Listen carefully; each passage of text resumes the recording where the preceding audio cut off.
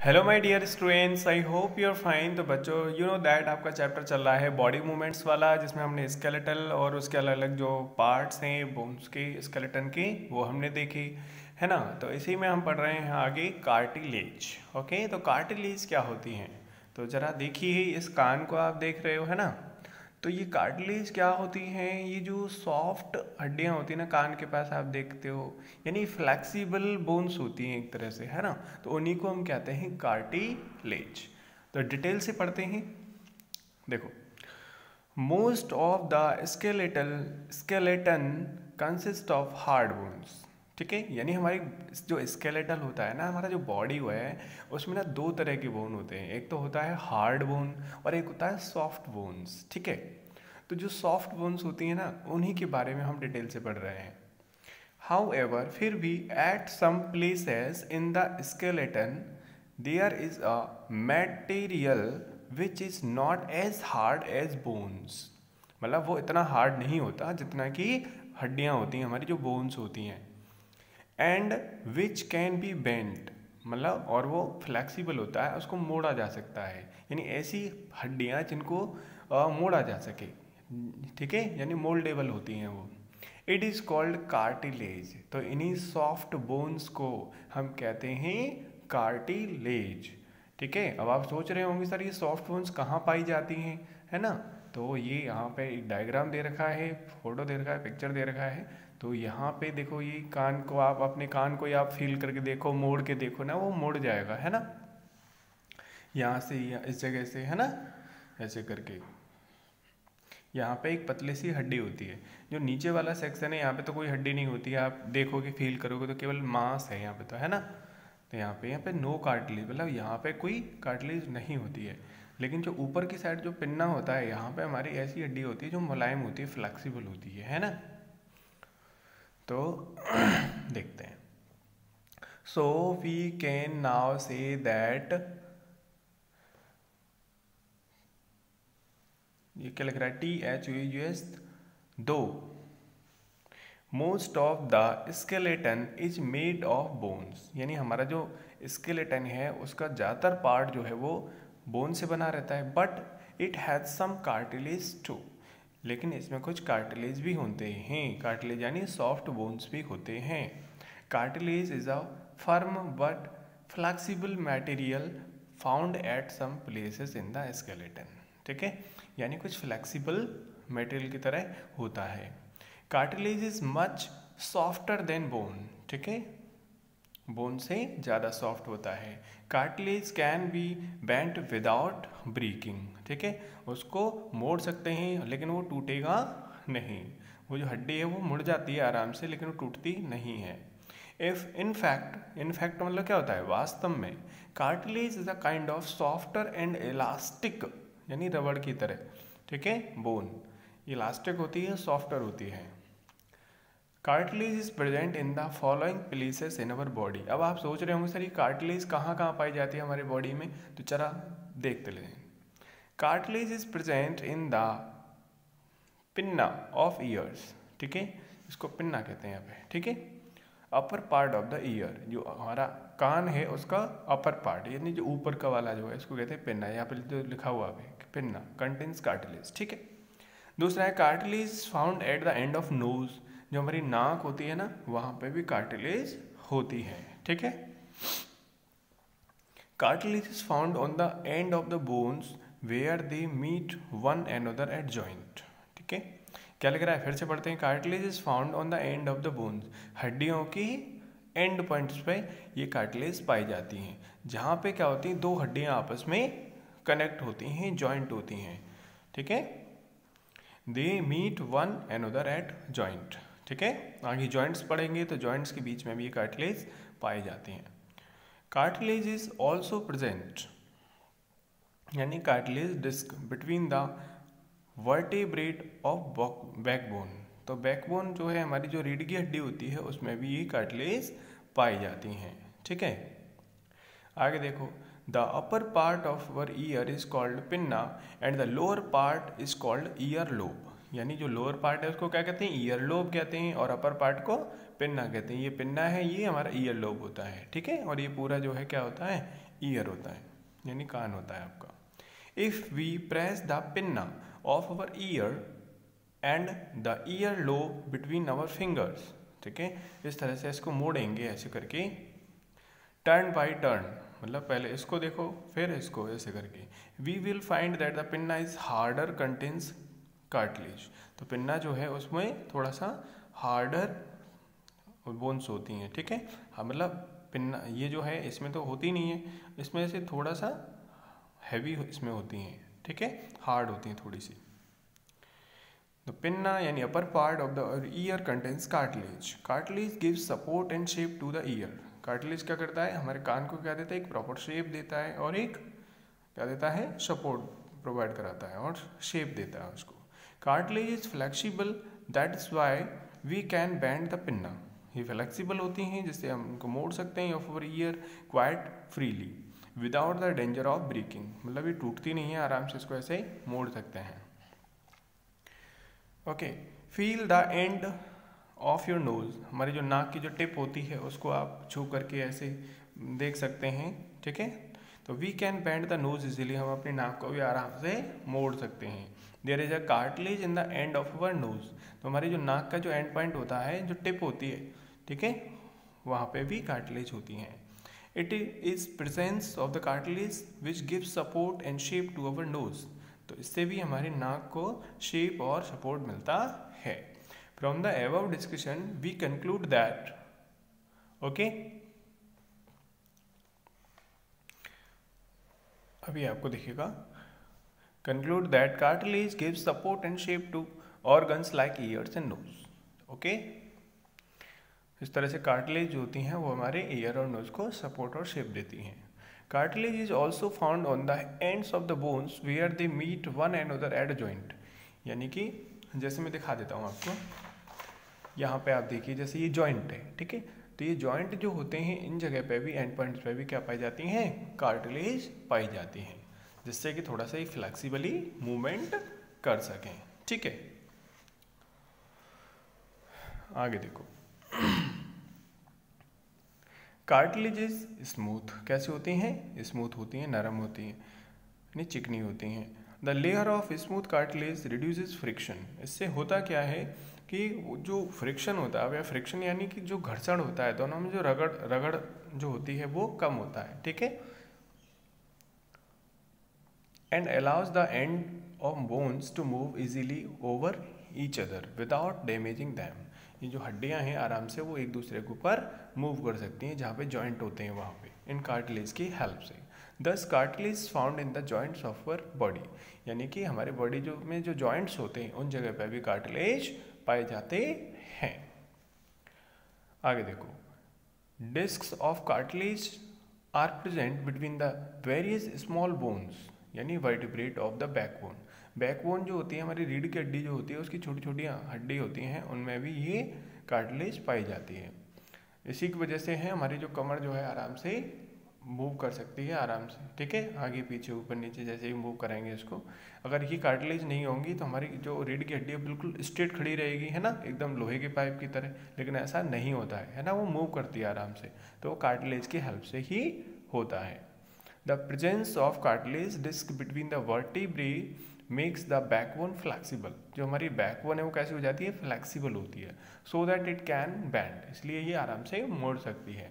The cartilage disc also absorb the shocks ठीक है? और ये झटकों को भी झेल सकती है।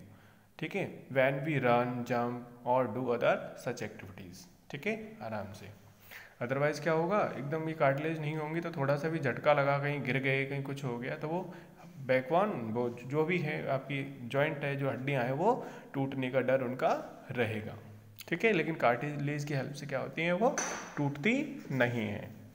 ओके छोटे मोटे झटकों को झेल जाती हैं। देखो आगे। Joints of the body okay हमारे बॉडी में बेटा बहुत तरह के जॉइंट्स होते हैं। ओके? इनके बारे में हम पढ़ेंगे आगे। तो our skeleton is made up of hard and strong bones bones can not be bend ठीक है, लेकिन हड्डियों को नहीं मोड़ सकते कार्टिलेज तो मोड़ सकते हैं, लेकिन हड्डियों को मोड़ नहीं सकते।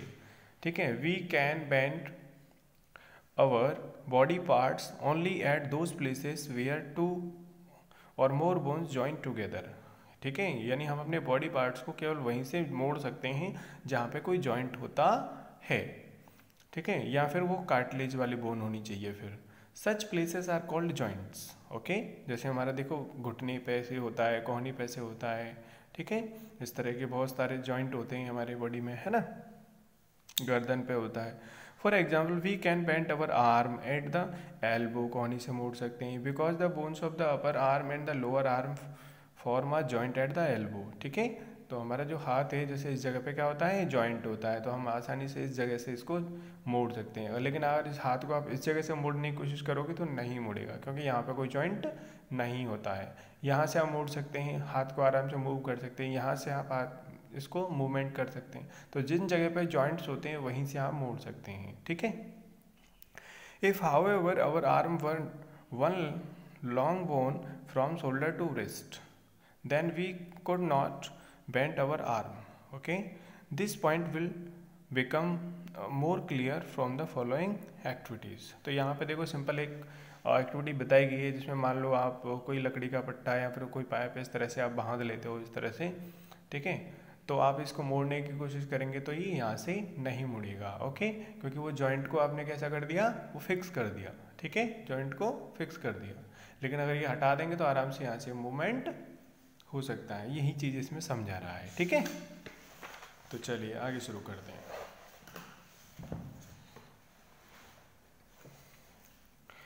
The place where two or more bones meet in the skeleton is called a joint तो यहाँ पे जॉइंट की डेफिनेशन दे रखी है कि वो प्लेस जहाँ पे दो या दो से ज़्यादा हड्डियाँ क्या करती हैं, मिलती हैं। ठीक है? उसको कहते हैं joint several types of joints occur in our human skeleton तो हमारे बॉडी में कई तरह के स्केलेट वो जॉइंट्स होते हैं। Most of the joints allow the bones to move ज़्यादातर जो जॉइंट्स होते हैं, वो हमारी बॉडी के मूवमेंट को अलाउ करते हैं। मतलब हमारी बॉडी वहाँ से मूव कर सकती है। ठीक है? The amount of the movement depends और वो मूवमेंट कितना होगा, वो डिपेंड करता है on the type of joint वो जॉइंट जो है, वो किस तरह का है right right? Thus joints of the bones help in body movement तो हमारा जो चैप्टर है, उसका नाम ही बॉडी मूवमेंट्स है। तो वो जॉइंट्स की हेल्प से ही होता है। तो ओवरऑल इस चैप्टर में हमें क्या समझाना चाह रहा है कि जॉइंट्स जो हैं, किस तरह के होते हैं, कि वो कैसे काम करते हैं, वही चीज़ हमें देखनी है। अगर वो चीज़ हमें समझ में आ जाएगी तो हमें सब समझ में आ जाएगा कि हमारा बॉडी जो है, किस तरह से मूव करता है। We can move or bend our body parts only at those places where the bones meet to form joints यानी जहाँ पे जॉइंट्स होंगे, वहीं से मूवमेंट हो सकता है। For example we can move our head arms hands legs and feet because all these parts have bone joint यहाँ पे जॉइंट्स होते हैं। If however our skeleton had no joints between various bones then we could not move our body अगर मान लो, सोचो हमारे body में joints नहीं होते तो पूरा नीचे से ऊपर तक क्या होता है? एक, बस ठीक है, ऐसा का ऐसा ही रहता ना हिलता, ना डुलता तो उस शरीर का कोई फ़ायदा भी नहीं होता, है ना? तो जॉइंट्स होना बहुत ज़रूरी है हमारी बॉडी में, ठीक है? Then we could not move our body parts like head arms hands legs and feet etcetera okay in the freely movable joints like the elbow knee shoulder and hip joints are the end of bones forming the joints are held in place by strong connective tissues called ligaments ठीक है? यानी कि ये जो joints हैं, जहाँ पे हड्डियाँ आपस में जुड़ती हैं, अब आप सोच रहे होंगे ये हड्डियाँ आपस में जुड़ती कैसे हैं, है ना? क्या इनके बीच कोई फेबिकॉल होता है? नो फेबिकॉल नहीं होता है। एक्चुअली यहाँ पे क्या होता है? एक कनेक्टिव टिश्यू होता है। एक तरह के, खास तरह का मांस होता है, जिसे हम कहते हैं लेगामेंट्स ठीक है? वो लिगामेंट ही है जो इन हड्डियों को आपस में जोड़ के रखता है जॉइंट्स में काम आता है, ठीक है ना? तो डिटेल में पढ़ेंगे लिगामेंट्स के बारे में बाद में। Ligaments connect, however, the elastic and so they can stretch to let the bones move at the joints easily यानी जो लिगामेंट्स होते हैं ये एक तरह का टेप होता है जो कि फ्लैक्सीबल टेप होता है ठीक है? मांस का बना हुआ एक टेप सा होता है फ्लैक्सीबल होता है ये आराम से स्ट्रेच हो सकता है जैसे हड्डियाँ आपस में एक दूसरे से जॉइंट होकर के मूव कर सकती हैं। Another point to be noted is that the ends of the bones at joints are covered with a soft and smooth layer of cartilage. और इसके अलावा क्या होता है? जहाँ पे भी हड्डियाँ होती हैं, हड्डी का जो एंड पॉइंट्स होता है, वहाँ पे क्या होता है? एक कार्टिलेज का एक कवर सा चढ़ा हुआ रहता है। फिर वो कार्टिलेज आपस में एक दूसरे से जुड़ती हैं और लिगामेंट के टेप्स की हेल्प से वो कनेक्ट हो जाती हैं। ठीक है? The layers layers of cartilage allow the ends of the bones to move over each others smoothly without friction तो इन कार्टिलेज और लिगामेंट की हेल्प से दोनों हड्डियाँ आपस में एक दूसरे पर मूव कर सकती हैं। ठीक है? This prevents damage to the ends of the bones due to wear and tear caused by rubbing over each other इसका फ़ायदा ये होता है कि वो हड्डियाँ जब आपस में रगड़ेंगे। देखो, आपको पता है, अगर मान लो किसी भी चीज़ को आप रगड़ोगे, जैसे मान लो आप लोहे का ही कोई सिक्का है, अगर आप इसको पत्थर पर रगड़ते तो रगड़ने से क्या होगा? वो घिस जाएगा, है ना? तो सोचो, अगर दोनों हड्डियों के बीच में कुछ नहीं होगा और वो केवल घिसेंगी मतलब एक दूसरे पे रगड़ेंगी तो क्या होगा? हड्डियाँ खराब हो जाएँगी। लेकिन ऐसा नहीं होता है है ना? क्यों नहीं होता? क्योंकि इन दोनों हड्डियों के बीच में क्या रहता है? कार्टिलेज लगा रहता है है ना? जिसकी हेल्प से क्या होता है? वो खराब नहीं होते लेकिन बहुत से आपने देखे होंगे जिनके घुटने वगैरह में दर्द होता है या फिर चल फिर नहीं सकते, है ना? तो उनकी जॉइंट्स में क्या होता है, वो कार्टिलेज जो है वो क्या हो जाता है, फट जाता है, ख़राब हो जाता है, जिसकी वजह से वो उन्हें घुटनों में क्या होता है, दर्द होता है है ना? जॉइंट्स में क्या होता है जॉइंट पेन होता है राइट तो अब आपको समझ में आ रहा होगा क्यों जॉइंट पेन होता है है ना? There is also a thick or oily liquid और इसके अलावा क्या होता है, एक ऑयली लिक्विड होता है. ऑयल यानी एक ऑयल जैसा एक लिक्विड होता है. जैसे गाड़ियों में ऑयल डालते हैं, आपने देखा होगा. इससे क्या होता है, उसमें चिकनाहट बनी रहती है. वो आपस में एक दूसरे से जब रगड़ खाते हैं तो घिसते नहीं है है ना? ऐसे हमारे जॉइंट्स होते हैं, वहाँ पर एक ऑयल ऑयल रहता है. ठीक है? Between ends of the bones of a freely movable joint जिसकी वजह से क्या होता है, वो रगड़ नहीं खाते हैं. वो आराम से चिकनाहट से चलते रहते हैं, है ना? This oily liquid lubricates the cartilage at the ends of the bones इसकी वजह से क्या होता है? वो कार्टिलेज जो है, वो कैसे हो जाते हैं? चिकने हो जाते हैं, ठीक है? ऑयली हो जाते हैं और वो एक दूसरे से रगड़ नहीं खाते and reduces friction even further और इसकी वजह से एक तो हड्डी के ऊपर कार्टिलेज चढ़ा रहता है। इसके अलावा और क्या होता है? ऑयल ऑयल भी चढ़ ऑयल लगा रहता है उस जगह पे, जिसकी वजह से और चिकनाहट बन जाती है okay in order to keep the diagram simples, we will not show the cartilage and only liquid is in them. ठीक है? ऑयली लिक्विड इन दैम यानी ये कहना चाहता है कि जहाँ पे भी हम इन जॉइंट्स को देखेंगे, जैसे यहाँ पे जॉइंट्स को एक्सप्लेन किया गया है तो मैं आपको बता दूँ, जैसे ये हड्डी है तो हड्डी के ऊपर क्या होता है? कार्टिलेज का कवर चढ़ा रहता है, इसके ऊपर भी और इधर भी। और दोनों के बीच क्या रहता है? एक लिक्विड भरा हुआ रहता है। ठीक है? और लिगामेंट्स जो होते हैं वो इस तरह से टेप होते हैं, ऐसे ये चिपका रहता है, एक इससे चिपका रहता है। ठीक है? जिससे कि हड्डी जो है इस इस इस लिक्विड को छोड़ करके भागे नहीं, ठीक है? मतलब इससे अलग नहीं हो, दोनों को जॉइंट कर दिया जाता है, जिससे आराम से वो फ्लेक्सिबली मूव कर सकते हैं, ठीक है? तो और डिटेल से समझेंगे। तो यहाँ पे लिगामेंट्स और ऑयल को नहीं दिखाया गया है, केवल आपको जॉइंट्स के बारे में समझाया गया है। ठीक है? जिससे कि अगर आप मान लो यहाँ पे लिगा, वो लिगामेंट भी दिखाएगा, कार्टिलेज भी दिखाएगा तो आपको कुछ भी दिखेगा नहीं यहाँ पे, समझ में नहीं आएगा। ठीक है? तो डायग्राम को सिंपल किया गया है यहाँ पे। तो हम डिटेल से देखेंगे एक एक करके। वीडियो बहुत लॉन्ग हो गया है आपका, लेकिन आपको बहुत ही इंटरेस्ट आया हुआ आज, मज़ा आया हुआ समझ में आ गया होगा काफ़ी कुछ। तो मिलते हैं नेक्स्ट वीडियो में, तब तक के लिए bye bye and take care and thanks for watching